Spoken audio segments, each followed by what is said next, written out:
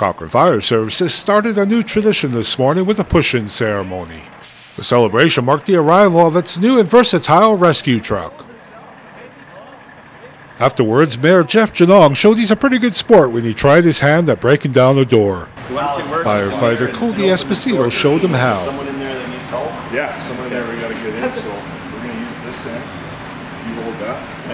And typically there will be a deadbolt, oh. Mayor. Oh,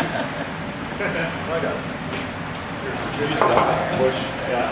See how strong it is, or we can. Well, it's pretty strong, yeah, Yeah, okay, so it, pull it this way, sorry.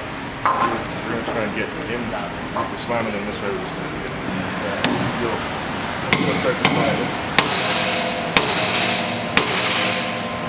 uh,